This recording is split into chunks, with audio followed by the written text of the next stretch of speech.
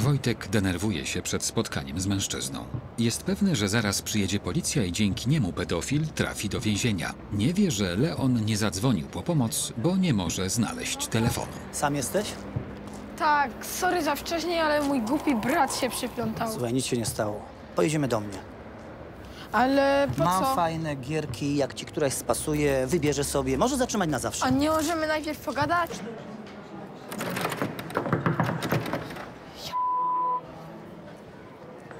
Kurde, Leon, patrz jak chodzi. Max, sorry, wiem, że mnie zabijesz, ale pomocy. Co się stało? Wojtek poszedł się mówić z tym waszym pedofilem. Co to A sobie ja jaja zostawiłem robi? telefon w klasie. Trzeba szybko zadzwonić na policję. Boże, co zajęło, po prostu mówić jak do debila. Gdzie on jest? No przed szkołą mówię ci, że możesz się z nim Co? spotkać. Gdzie? Dobra, leć, ja idę po pomoc. Ała, ej, nie puść mnie! Mówię ci, wsiadaj. Wsiadaj, bo pożałujesz. Mówię ci, że wsiadaj. Co sobie? Jerzy, co robisz? Chodź, chodź. Tomek, zo- zostaw, zostaw, zostaw. Młody chłopcu ci zachciało? Zostaw Ten mnie zaczepił. Co, jaki młody chłopcu ci zachciało z jeden? pytałem. Stój, nigdzie nie jedziesz. Absolutnie. Nigdzie pan nie pojedzie, zaczekamy na policję tutaj. Ale o co panu chodzi? Powiedziałem, weź się ode mnie, ostrze. Go, mów, gdzie pan nie pojedzie, zostaje. Uspokój się. Czekamy na Weź Wojtka, idźcie do szkoły. Dobra? My się nim zajmiemy. Młody, jak jest? Jest okej? Dobrze? Chodźcie.